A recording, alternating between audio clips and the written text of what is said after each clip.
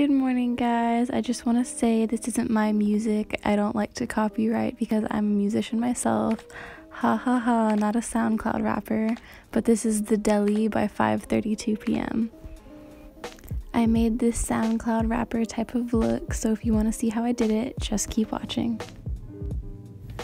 I started off by doing my eyebrows as normal, using my foundation in NC10 by MAC just spread it all over my face, blah blah blah, like usual.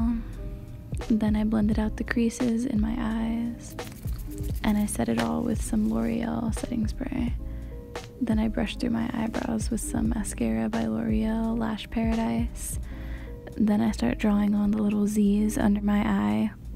I was just using a little eyebrow brush from I think Wet n Wild and then I darken the little Z's by using the actual NYX.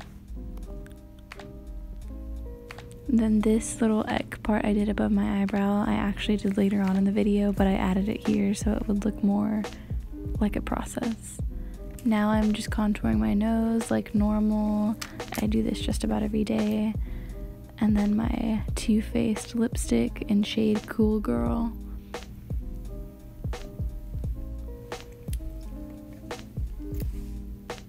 Now I'm applying it to my lids to use it as an eyeshadow.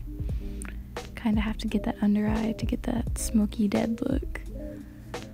Now I'm applying my Moonchild palette in the shade Lucky Clover all over my cheeks, my cupid's bow, my nose, the corners of my eyes. Now I'm applying lashes. They're just regular kiss lashes that, you get like at Walmart. This is actually another part where I came back because I had to go to the hospital and then I came back and finished the video because I wanted to finish the video. Now I'm just taking out my nose stud and putting in a nose ring for the look. I thought a nose ring would be more suitable. So thank you guys for watching and this is the completed look.